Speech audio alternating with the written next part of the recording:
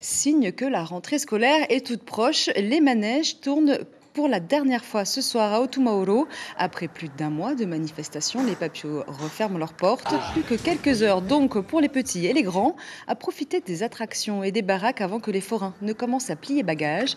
Des forains plutôt satisfaits de la saison. Les précisions de Téléma Théata Frogier au micro de David Chang et Jacques Damour.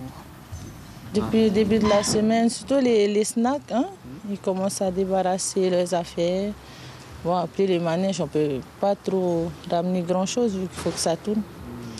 Mais sinon, les baraques, ils commencent à débarrasser un peu petit à petit, que ça ah. fasse moins. Les autres années, il y a vraiment eu plus de personnes, mais sinon, là, les trois dernières semaines, ça va, ça a été. L'information, on continue sur Polynésie la première, Internet et réseaux sociaux.